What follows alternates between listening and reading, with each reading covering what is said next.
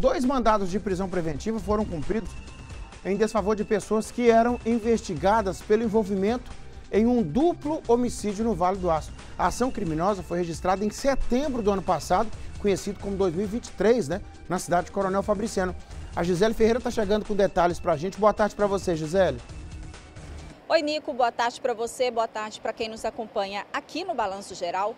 Os dois suspeitos deste crime foram soltos na semana passada, depois de encerrar o prazo da prisão temporária. Mas esta prisão foi convertida em prisão preventiva pelo Poder Judiciário de Coronel Fabriciano e eles foram presos novamente. O suspeito de 22 anos foi detido na última segunda-feira no bairro Manuel Domingos e o outro suspeito de 24 anos foi localizado na região do bairro Nossa Senhora da Penha. Eles foram recolhidos e já se encontram no sistema prisional. Eles respondem, Nico, por um duplo homicídio registrado em setembro do ano passado em uma boate em Coronel Fabriciano. Dois homens foram assassinados a tiros dentro do estabelecimento.